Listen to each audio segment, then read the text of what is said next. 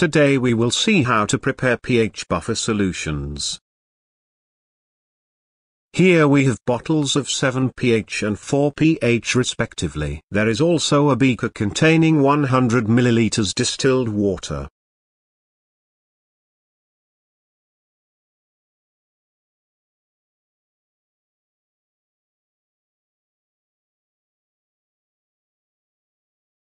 Now we will take our first pH buffer solution bottle and take out the capsule given in the bottle.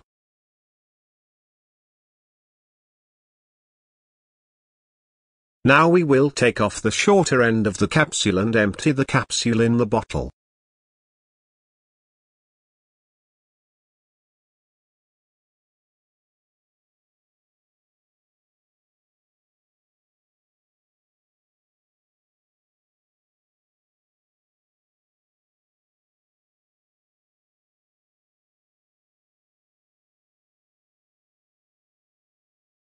Now we will take our 100 milliliters distilled water and pour it in the bottle containing the contents of the capsule.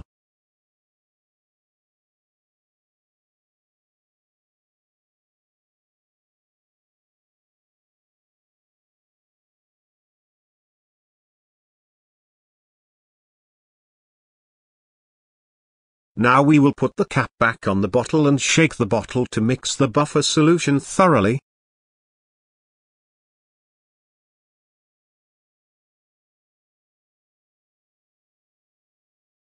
Your pH buffer solution is ready to be used for calibration. Thank you.